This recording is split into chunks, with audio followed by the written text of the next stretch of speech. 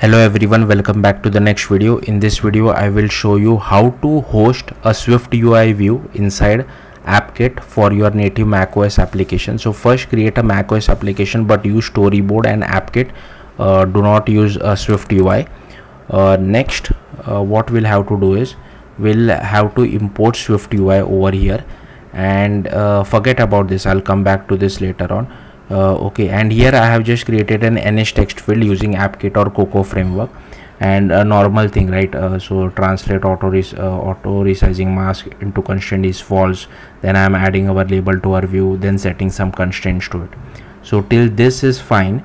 Next what I have done is that I have created a Swift file another Swift file called my Swift UI label name it whatever you feel like. And here I have just created another I have created a Swift UI view this is not an AppKit view so I'm importing Swift UI and this text is from Swift UI so I have just written hello from Swift UI as well.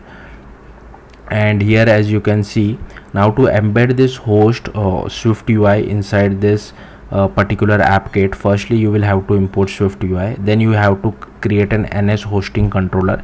And here you have to initialize whatever is your Swift UI file name. So mine is my Swift UI label that's why I've written it over here next uh, once uh, so now it depends where you exactly want to show it. I want to show the swift ui view below the label. So what i have done is that i have first gotten hold of our swift ui view using vc.view then i have set the translate auto resizing mask equal to false. Then i have added our vc like this hosting controller to our as a child to our uh, um, ns view controller and then I have added it uh, our Swift UI view as a sub view to our main parent view. Then here I am just applied normal uh, NS layout constraints just like we have applied it over here. So as you can see this Swift UI view is below this label. So the top anchor is below this particular label which we have defined. And the leading anchor is same for both Swift UI view as well as label. So if I now run my application you should be able to see one label from our AppKit and one label from our Swift UI part. So as you can see, uh, hello from AppKit and hello from Swift UI. So yeah, that's how easy it is.